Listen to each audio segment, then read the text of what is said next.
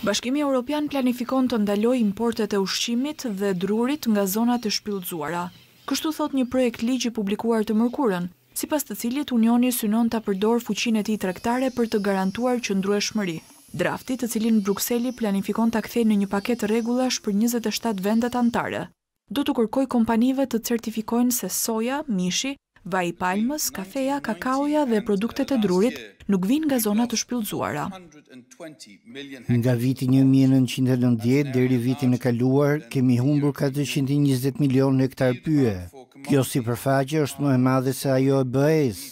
Ndaj, kërkojmë që për lëndë si vaji i palmës, soja, druri, mishi dhe të tjera të mos vijnë nga këto zona. Në të njëjtën linjë ishte edhe Komisioneri Europian për Ambientin.